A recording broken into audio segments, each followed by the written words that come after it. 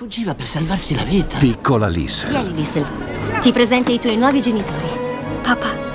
Quando il mondo Non sai neanche leggere. provò a rubarle i sogni. In occasione del giorno della memoria, storia di una ladra di libri. Mercoledì 21.10 su Canale 5.